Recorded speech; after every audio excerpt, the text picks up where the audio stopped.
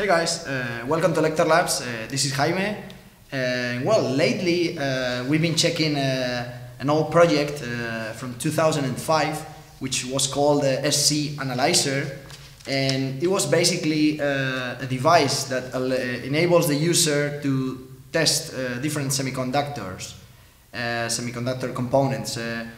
Because sometimes it happens that in you can get components from old circuit boards but either the, the, the ID, the identifier, the name of the component is removed or you actually don't know the characteristics.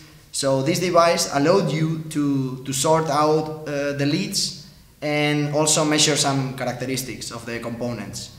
Uh, so we decided to, to make a, a remake of uh, this project because this one was based on a, on a PIC uh, 16F, one of the really classic ones from Microchip. And now we switch to this body here that some of you probably recognize uh, already. This is a Platino board uh, with a display and some additional hardware. So the new project is based on a Platino, which has an Atmel microcontroller, and we will discuss uh, uh, upstairs how it works. Well, as said, uh, the project is uh, based on a, on a Platino board. The Platino board comes with a with an AVR microcontroller, which is a ATmega 32, and the additional hardware for this project uh, mainly consists in a power supply with a 5 volts uh, regulator here, and and then uh, a circuit that is based on a 4 to 1 multiplexer with uh, four resistors, and that circuit is copied three times uh, according to the three pins of a, of a transistor.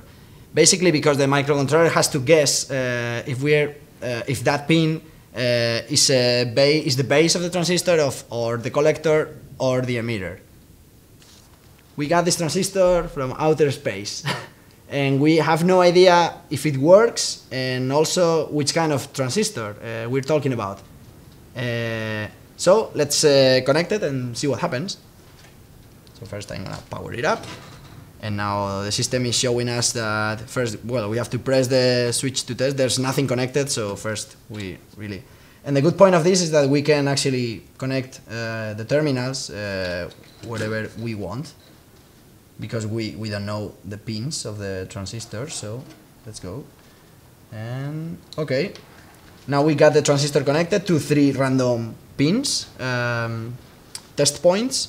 So I'm gonna press uh, and see what happens. In this case, we know that we have uh, the type is a PNP transistor, and we know that the the test point, the test pin uh, number three corresponds to the collector. Uh, number one is the base, and number two is the emitter. And we also know the forward current gain, the beta, that in this case is 201 and well we were cheating a bit actually because we, we really knew that this transistor is a is a BC well a famous BC 369 so and yeah that actually corresponds to what the datasheet uh, says more or less. And we also know that it works. So now we're gonna test with another component perhaps a, a PMOS type or something like that and see what happens. So first uh, I'm gonna connect it. Now I'm turning this on. Let's see. Okay, so now in this case, uh, we okay for this transistor we have a PMOS. The type is a PMOS, uh, and uh, we know that the drain is uh, test point number two, the gate is test point number three, and the source is number one. And we also know, uh, you know, in BJTs, it makes sense to, to mention the gain, but in, in a MOS type of transistor, it makes uh, more sense to, to mention the threshold voltage. And now, now we know that uh, this body works perfectly fine, and we have a 1.9 volts. Uh, oh yeah, and a couple of things that I was missing. Uh, in this case, we're using a display to show all the results, but you can also uh, uh, use an FTDI Elektor USB to serial uh, board. It's a br- br- breakout board, and instead of that, you can show or send the results to a terminal program, and then, for instance, broadcast the results uh, whenever you want, like a server or something. And And just uh, yeah, the next thing is that all the software is written in Bascom AVR.